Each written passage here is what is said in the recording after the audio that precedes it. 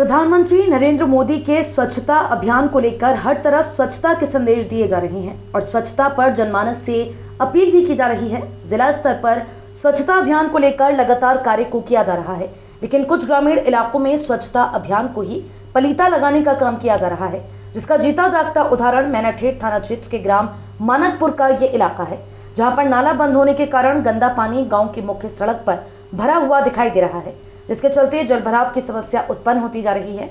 गाँव के इस मुख्य मार्ग से गुजरने में ग्रामीणों को काफ़ी दुश्वारियों का सामना करना पड़ रहा है। गाँव की समस्या को लेकर विरोध जताते हुए ग्रामीणों द्वारा कहा गया कि गाँव में नाला न होने की वजह से पानी रास्ते पर ही भरा हुआ है। इससे जलभराव की स्थिति बनी हुई है और लोगों को आने जाने में काफ़ी समस्या हो रही है।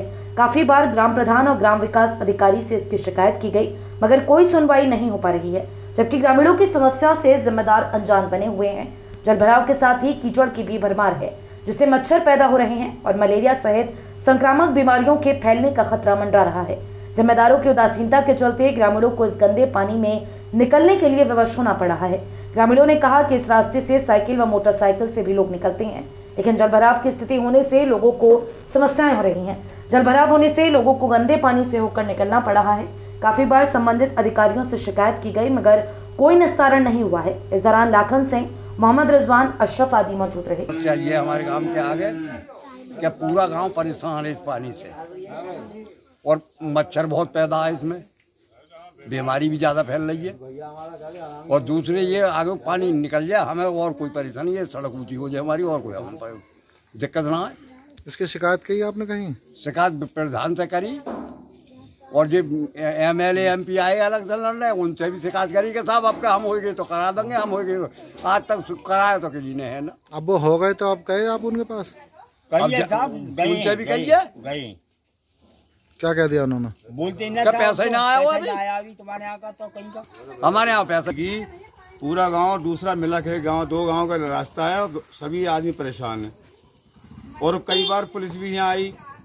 विवाद भी हुआ थोड़ा बहुत यहाँ आपस में लोगों में पानी आगू निकाल निकासी नहीं जाने दे रहा है पानी इसका। पानी आगू जाने के लिए बंद है। अच्छा तो भी नाला खुदवा पे आओ तो नाला का रास्ता है। रोड के किनारे रास्ता कोई नाला खुद सकता। अच्छा तुमने किससे शिकायत की अब तक? हमने प्रधान से भी कही जो भी लोग यहाँ इलेक्शन में आए काफ़ी आदमी आए उनसे भी दिखाया बताया रास्ता तब भी पानी भर रहा था। काफ़ी पानी भर रहा है आज कोई अब थोड़ी पानी। अब तो कम है पानी बहुत पानी भर रहा था इसमें पहले तो। अच्छा तो ये सफ़ाई कर्मचारी आते हैं सफ़ाई करने सफ़ाई कर्मचारी कोई नहीं आता यहाँ। महीने में एक दो बार एक आदमी हमारे यहाँ गई है वाल्मीकि वो एक दो बार कर देता। अच्छा तो वो एफजी में लगा हुआ कैसे? एफजी में लगा लगा हुआ वो। एक बार पैसे जितने पैसे दे इतना काम कर दे। सर क्या वो है रास्ते की बहुत परेशानी है पैदल आदमी से भी नहीं लिख रहा जाता और सवारी एक तरफ़ से आवे तो एक तरफ़ की रोक नहीं पा रहे सवारी। अच्छा क्या परेशानी है पानी की? परेशानी यही है कि सड़क जो है हमारी ऊँची हो जाए रास्ता सही हो जाए दिक्कत हमारी परेशानी दूर हो जाएगी। कहीं शिकायत कराई? अभी? शिकायत करी प्रधान को दिखाया प्रधान को दो एक बार दिखाया तो उन्होंने सोपता खुदवा दिया है सोपते से भी काम नहीं चला। और पुलिस भी आ गई और पुलिस की गाड़ी भी आ गई है दो एक बार। और दो गाँव का रास्ता है ये एक गाँव का।